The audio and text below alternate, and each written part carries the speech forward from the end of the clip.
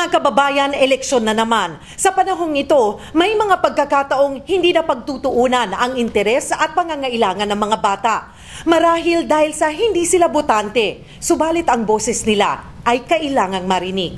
Ang kinabukasan po ng mga kabataan ay nakasalalay sa mga mahahalal sa darating na Mayo at 13. Ako po si Cheryl Cosip.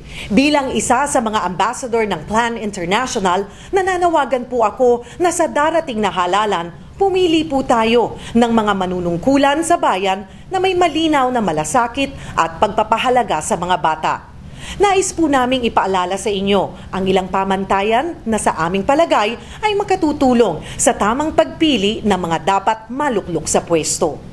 Una, may malinaw at matatag na paninindigan ukol sa karapatan ng mga bata at may karanasan sa paggawa ng mga batas at programa para sa mga ito. Ikalawa, may konkretong plano, plataforma at reforma para sa mga bata at may kakayahang ipaliwanag at higit sa lahat, isakatuparan ang mga ito. Ikatlo, ang mga bata ay nasa sentro ng kanyang mga planong batas at kinukonsulta at kinikilala ang aktibong pakikilahok ng mga ito sa pagsasagawa ng mga nararapat na batas.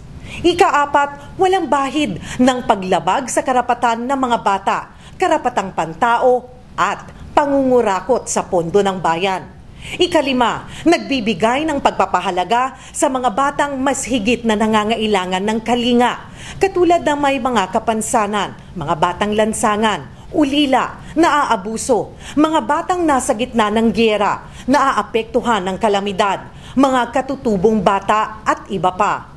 Ika-anim, may malayang pag-iisip, hindi nadidiktahan at kayang sumalungat sa desisyon ng kanyang partido o grupo kung kinakailangan, lalo na sa mga usaping may kaugnayan sa pangkalahatang kapakanan ng mga bata.